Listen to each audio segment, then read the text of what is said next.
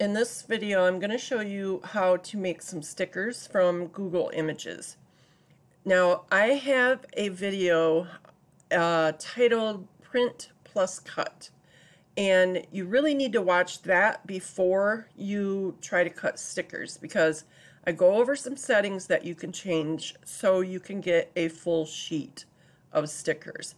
The way that it is set up, the default settings, won't allow you to get a full page, okay? So be sure to watch that. And also in the description of that video, there is a video by Mr. Crafty Pants that shows you how to calibrate your machine if you have a solo. Um, you need to do that first. And then you can go Google, find some images, and then um, come here to trace image. Don't use file place image. Use the trace um, here. And then choose your image here. And I'm going to choose this Santa hat. You want to have blackout checked and add an image layer. And then you can update the preview Make sure nothing on the inside has red lines. You can turn this down if you need to um, so you can see and then click OK. And now when I move this, you'll see that I have a trace around my hat. Okay. First thing you want to do is make sure, come over here to your layers panel, and your layers might be down here. Um, if you double click on that bar that goes across here, it'll put it up here, right? You can click on this little triangle here, choose your cut layer, and make sure that that is set to print plus cut cut. Now it can be set to cut.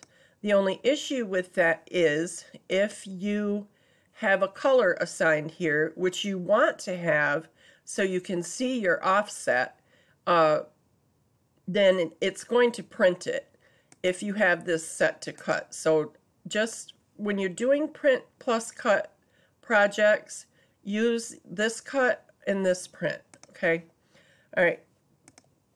So now I have the cut layer selected and I want to add an offset around my hat so that it has a white border.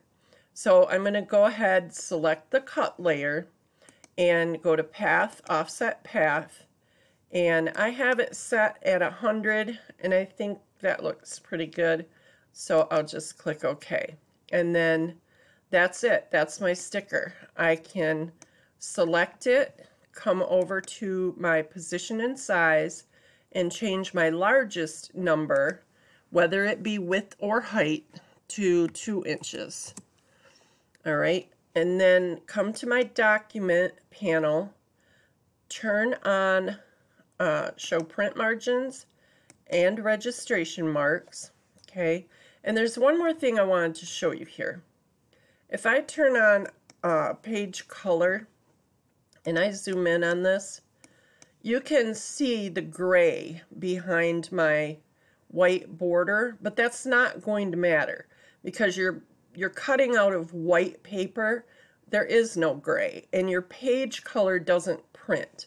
So if you do have a page color so you can see your white, then um, don't worry about it being uh, hanging over that, okay?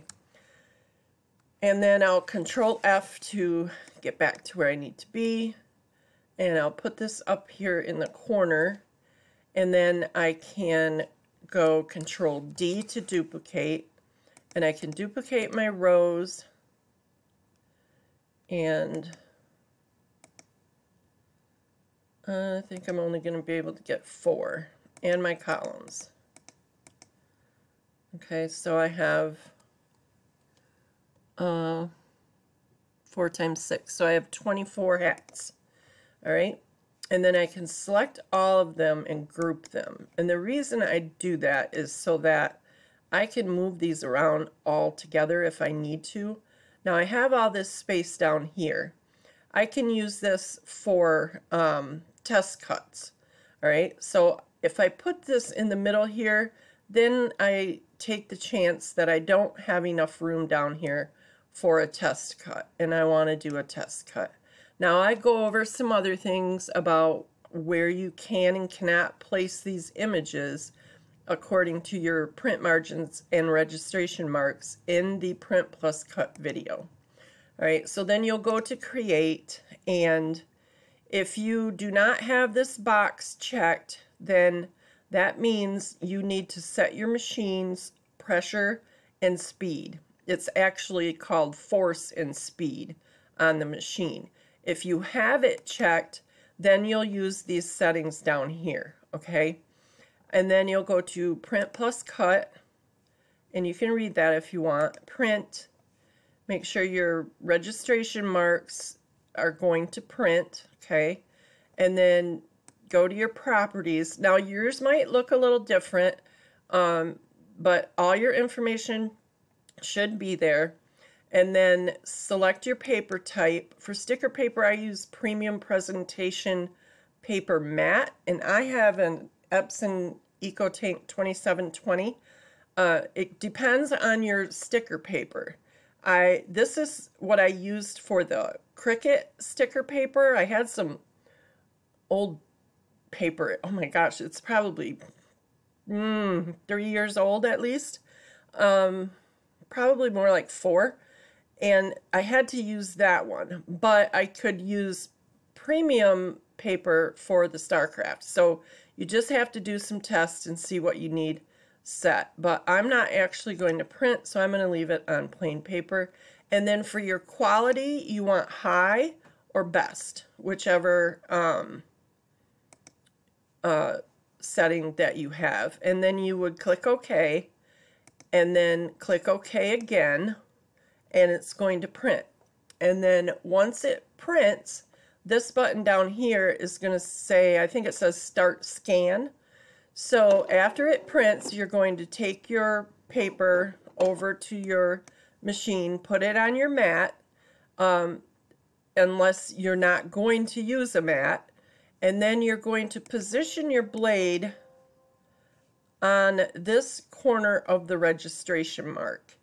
And then you're going to click um, scan. Okay. So right here is where you're going to position your blade right here, not at the corner of your paper, the corner of the registration mark. Okay and then you are good to go and you will have your 24 stickers.